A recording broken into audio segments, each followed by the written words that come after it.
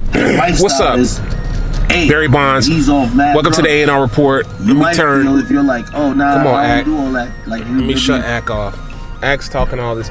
Ack, you thinking way too into this shit, man. Seriously. You know, this situation with Diddy, and yes, I'm giving another take on this Diddy situation because it's the hot topic right now that everybody's talking about, but everybody's overthinking it. Everybody's overthinking this shit, man. It's not as complex as you think it may be. It's not. Now, let's get into the mind of a music executive, a billionaire music executive mogul who has for a long time been a womanizer who's, you know, gone through, but he's single. So you can't really like charge him on that because he is single. He has not married anyone. No one. He hasn't even given the implication that, you know, he wanted to marry anyone except for Kim. So let's think about this when you're a music executive, and I was, I even worked for Diddy. I worked for Diddy for four years, and it's like being in those in those rooms, being in in in, in around the circles and whatnot, man. It's like I've seen people do whatever just to get a gl- just to get in the same room.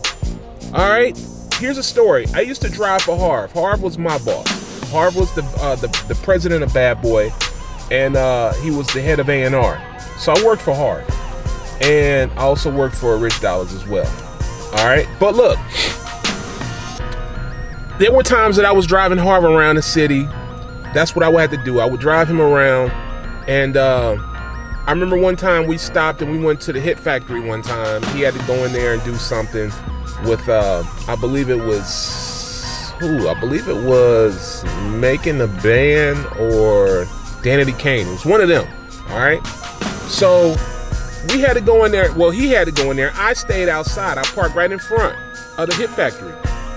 And while I was there, I'm in his car. I'm chilling. He had a BMW 745 at the time. They just came out. You know what I'm saying? I hardly knew how to drive that motherfucker, man. Straight up. I hardly knew how to drive it. So, you know, I'm driving his joint and whatnot, and uh, I'm stopped right in front of the uh, the Hit Factory, and uh, we just chilling. I'm chilling. I'm listening to uh, to Ness's stuff that hadn't even come out yet. It was in the deck, and a guy rolled up on me, and he was like, "Yo, yo, uh, is this Harv's car?" And I looked at him strangely, like, like, yeah, nigga, you know what I'm saying? Like? Why? And he was like, yo, yo, I don't mean no harm, Paul. I just need you to do me a favor, man. I will give you $75.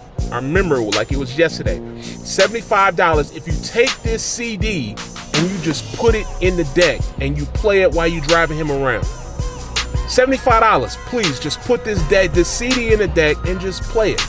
That's it. Now, this is like 2004, 2005, something like that. And um, I had just started working for them like that. The man gave me $75 just to put a CD in a deck. You know what I'm saying? Trust me, people will do whatever to get close to these guys. Whatever.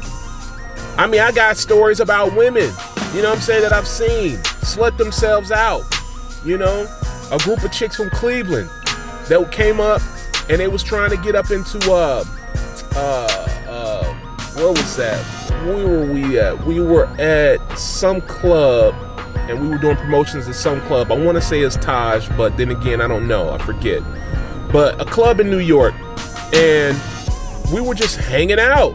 And I've seen chicks flash their titties just to get in the VIP section with these guys. I've seen chicks go up in there and let, and I'm not, I'm gonna keep it, I'm gonna remain nameless. Keep, I'm not gonna say any names, but let these guys who work for Bad Boy just rub all over them. I mean, just let them just, I mean, they were just getting fondled, just getting fondled, man. You know what I'm saying? Just letting them rub all of them. Hand man had his hand all up her dress, probably was fingering her right there in VIP section. I've seen it. You know what I'm saying? I've seen it done. I've seen it happen. Howard Homecoming. I've seen chicks down there let dudes beat, beat, beat all night. You know what I'm saying? Just to be around the entourage. I've seen it. It happens. When you're that desperate just to get around, and these chicks were desperate. I've seen it. Super Bowl. Super Bowl down in Atlanta. Super Bowl down in uh what was we at? Houston. I've seen it. They was down there in Houston and whatnot. Chicks was trying to get around uh Jamie Foxx. You know what I'm saying? And I mean they was talking spicy. Jamie, I'll suck your dick. Jamie, I'll lick your ass. Jamie, I'll do this. Just to get around Jamie Foxx. These chicks will do whatever it takes. They're called groupies. Or did you guys forget that that even exists? Yes, groupies. Groupies that want to get around these very powerful music executives because they feel that if they get in there and they do what they got to do, whatever it is that they need to do, all right, that they that their living situation and their whole future will be a little brighter because these guys will take a liking to them and shower them with gifts and trips and do all this. There is a groupie culture in hip hop. Yes, there is. And Cassie is no different. No different. Mind you, you guys seem to forget that she was dating fucking Ryan Leslie when they first started out. You know what I'm saying? People will do anything to get on. The R. Kelly situation. You had chicks doing whatever to try to get at R. Kelly. I mean, Sparkle even offered up her niece to be to get her in with R. Kelly. She knew. Like, why are you guys acting so bewildered over this situation when it is what it is? It's called greed. Greed. When you will pretty much do whatever it takes to get in a situation that may turn around and improve your living situation, your lifestyle, people get greedy. Cassie is nothing but a tale of her greed. That's what happened. Her greed got the best of her, and she allowed Diddy to do whatever he wanted to do. Now, let's put this in a more realistic aspect of it is that when you're a powerful music exec like that, now put your shoe, put yourself in Diddy's shoes. You got women throwing themselves at you. The baddest, the baddest of baddest chicks in America, in the world, for that matter, will want to do anything to get close to you. That power will go to your head. That power will go to your head. I got another story. When I was in college, the Bad Boy uh, um, tour. Well, it really wasn't the Bad Boy tour, but Puff and them, uh, they were all on that on that tour. And 112 had just came out. Just came out. People didn't even know what they looked like yet, really. They just saw them on videos.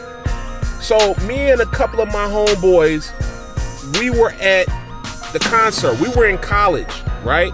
We worked for the radio station, so they gave us free tickets. We helped with the promotion, and uh, you know, we got backstage and all of that.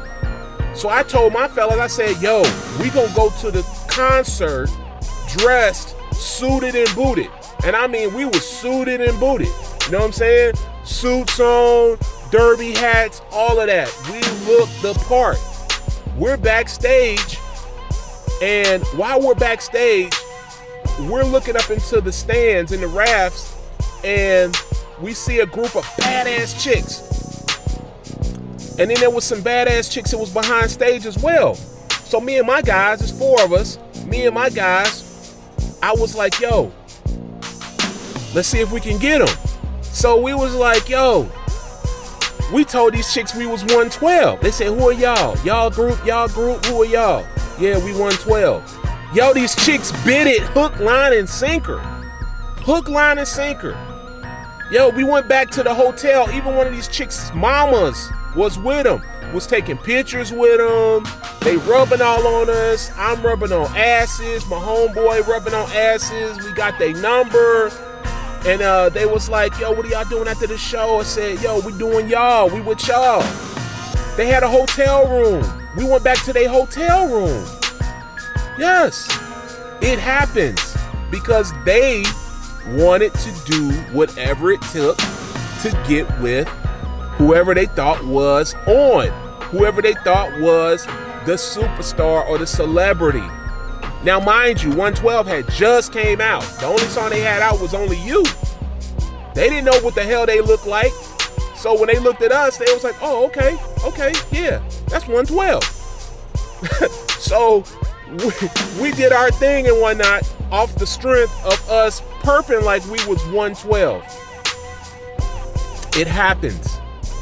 It happens. It's called greed. That's what it is. When your greed, your just obsession with celebrities, celebrity lifestyle, and wanting to be a part of it or want to be on the in crowd overtakes your logic and your reasoning, you'll do whatever it takes to get in there and to be a part of this situation. Whatever it takes. And it's sad, but it is what it is. It is what it is, man. And you guys out here trying to speculate on what this and that and oh Cassie's a she's a she's a victim and this and no Cassie had every every single chance every chance imaginable to say no I'm not with that. No I'm not doing that. No it's a wrap no no means no. Every single opportunity. But she could not divorce herself from that greed of her being able to profit or being able to take advantage of that lifestyle that Diddy was uh, affording her. And when that happens, hey, anything can happen pretty much. You know, he probably could have took a donkey in there to hit her from the back. And she probably would have said yeah because it was her greed powering that emotion, powering, you know, her reasoning to do all of these crazy things. Now look, we still don't know what really, really happened because I keep telling you guys there's a difference between perception and reality. And when that happens, you don't know what really was the case in this situation. All right? So everybody's speculating, everybody's already chopped him up. And no, I'm not apologist for Diddy by no means. I'm not an apologist for him. I'm not caping for him, but I just know how this shit goes down in the music industry. Now I'll take you back. Another example. There was a video called uh, backstage that Jay Z did about the Hard Knock Life tour, and in that video or in that in that documentary, his uh, roadies had a group of white female groupies, or no, yeah, white female groupies and black uh, female groupies that I believe the, the the black one she went into the uh, bathroom with one of his roadies. And he said, Yeah, yeah, come on, I'm gonna give y'all some real backstage footage on how it really goes down backstage. The chick took him into a stall in a bathroom and topped him off. One of the chicks was showing their titties and everything, just pulled her top down. They're called groupies, okay? Cassie is no different. In this situation, the chick took him in there, topped him off, cameras rolling. So come on, man. Everybody's acting like, oh my God, this is just so horrible. This is just so, oh my God, I just don't understand how this even happened. How did da da da da da? Yo, it is what it is. So all of you, all of the, all right now, all of the blogs are like piling on giving their takes on this. I even saw Slim Thug give his take on this, which a very which was a which pretty much complements what I'm saying. It was a very realistic take that says, look, these type of things happen. It should be a limit. It should be a time limit, you know, on people reporting any type of, you know, incidents or sexual assaults or anything like that. It definitely should be. It definitely should be. Because trust, Buyer's remorse on these type of situations is real. You'll think about some shit that you did and you feel embarrassed about it later, and you're thinking about it, and it's on you because it was really outside of the normal scope of how you would act or how you would conduct yourself.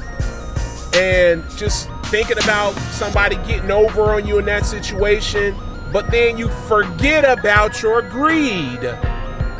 You forget about why you did it. You forget about what made you, what motivated you to allow somebody to slut you out. It's your greed because you're trying to improve your lifestyle or trying to get to the bag, whatever. Whatever it is, it's all associated with greed. It really is. Now, I've given you like four different instances on and experiences that I've had and that I've seen on how this whole thing goes down. So, I hope that you guys are able to be able to listen to this and understand that these type of things happen in the music industry. It is an industry that everyone is trying to get into. It is an industry that people will damn near sell their kids to get into. There's a lot of parents out here who have children, who have young children, you know, who will offer them up for whatever to get them into the music industry for them to be successful. It's called greed, man. It's called greed. That's all it's called. And until you all are able to control that motivation of greed, then these type of things are going to continue to happen because uh, abs- what they say, uh, uh, absolute power corrupts absolutely. You know what I'm saying? When you are a young person and you got a whole bunch of power, certain things to make people do certain things, you know, unimaginable things, yeah, you're gonna use that shit. That's definitely gonna happen. You're gonna use it. You aren't gonna be thinking on all cylinders. Your brain isn't gonna be clicking on all cylinders. You're gonna use that. You're gonna say, hey, you know, might as well. They wanted to do it. And at the end of the day, they could be wrong with the sentiment of, you know, having you do whatever it is, whatever ungodly, you know, act. But at the end of the day, it's your responsibility. You need to take accountability for you actually agreeing to do it. And there is none. And as a society, we keep allowing, and I hate to say this, man, because I know y'all gonna call me, you know, woman hater and all this shit, but as a society, we gotta quit allowing women to just make these dumb mistakes wholeheartedly make these dumb mistakes and then that giving them bail to get out of it and a payday. It's not cool. It's not right. It isn't. Women have every, every, every advantage, every uh, chance to say, no, I don't want to do that. And people will listen. If I was to go out here right now and if I was to grab a chick on her butt and she says, hey, he grabbed my butt. No, I didn't want that. No, he, he groped me. He sexually assaulted me.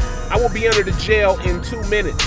Or I'll probably be getting my ass kicked up and down the street by some dudes or whoever, you know, trying to take up for, for that woman. so I'm not buying it. I'm not buying this whole thing of, well, uh, I'm able to heal now, so I wanted to talk about all the craziness. No, I'm not buying that shit. Because you didn't think about that when you were living it up in Miami, in LA, wherever you guys were flying to, San Tropez, uh, uh, whatever beautiful scenery, Dubai, whatever. And speaking of Dubai, I'm surprised that there hasn't been any of the other other get to the bag bad bitch chicks that's out here doing all kind of crazy shit, like letting these Arabian dudes shit on them, letting them shit on them. Now you talking about some nasty shit. There's a culture out here of women that are flying over to Dubai, getting the bag put on them, and these dudes are doing the most ungodly things. Shitting on them, pissing on them, spitting on them, whatever. Probably having animals smash them. But we're not seeing those exposures in the social media. We're not seeing any of those chicks come up, come out and say, hey, the Sheikh of, uh, of Dubai uh, paid me such and such and such and such money to come out and uh, he shit in my mouth. We're not seeing that. We're only seeing these young black executives, these young black rich guys being exposed. And that shit, it just don't sit well with me. It really doesn't. You know, because it's really, uh, it's, it's, it's nothing but just the greed, the conniving spirit, of those who are trying to take advantage of the situation. You want to enjoy the good times, enjoy the, the champagne, caviar, and, and lifestyle while it's going. And then when it's over or you have no more access to it, now it's, oh, well, let me go ahead and expose you. Let me go ahead and tell everybody that you called me a bitch and you did this to me back five to ten years ago. Nah, man. Nah. And you guys know that what I'm saying right now is 100% facts. 1000% facts. This whole thing is a money grab.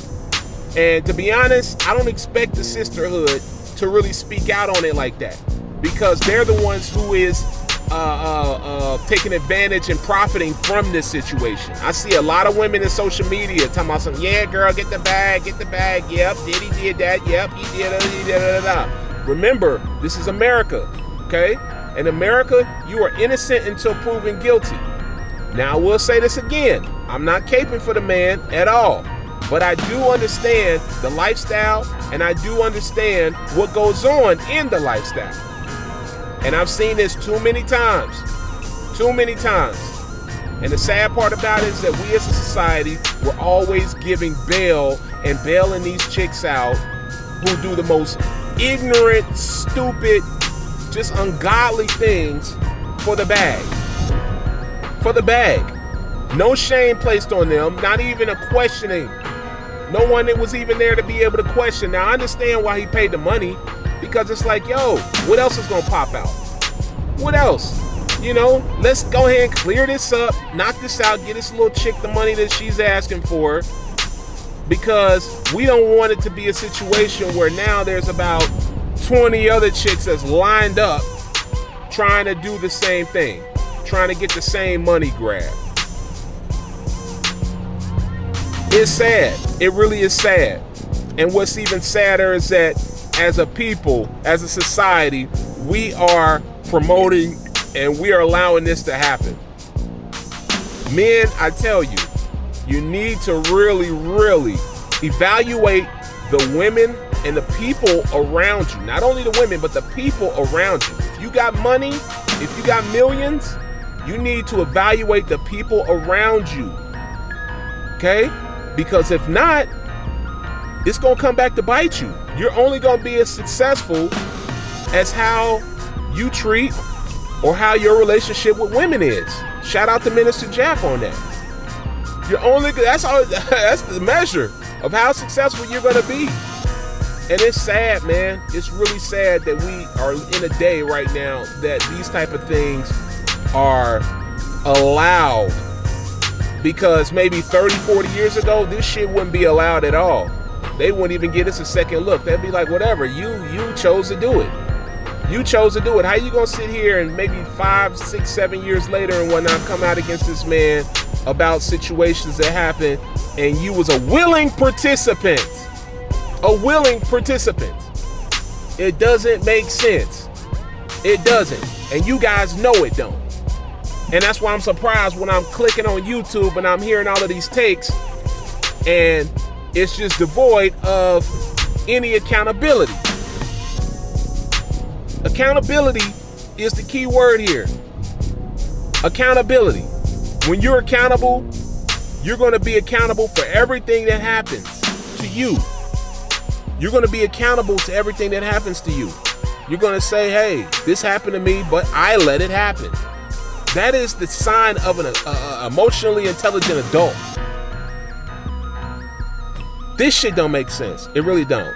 And as long as this is allowable in today's society, then trust me, it's going to get worse. It's going to get worse. It's going to it's go right now the millionaires are getting it. It's only a matter of time before everyday Joe schmoes are finding themselves being extorted by ex-girlfriends, ex-jump off side chicks and all of that. Because you got the you got Sexyy Red and all these other ones talking about they and Sukihana talking about they want to eat a nigga ass. So once they do that, and then five, ten years later, they look back on that and say, "Ugh, that was disgusting. Why did I ever even do something like that?" And then they're gonna turn into victims. Oh well, he made me do it. He made me do it. Nah, nobody put a gun in your head, and said drop your drawers and you know do this. Nobody put a gun in your head and say, put your tongue in the crack of my head. Nobody did that. I'm just, I'm just, seriously, right now, I'm just really bewildered. This whole thing is just shocking that it's even allowed, that it's even going down. This whole thing is just, it's nuts, man. It really is. But I just want to give a quick take on this because I was just, you know, reviewing some of the takes on this whole Diddy situ Cassie situation, and um, I don't really think that these guys are really. I think these guys are just placating and just, you know, just. I don't know. I don't know if they want to get canceled. I don't know. I don't know. Now, mind you, seems like the only people there to getting canceled these days are men. No one else is getting canceled but men. Okay? Keep that in mind as well.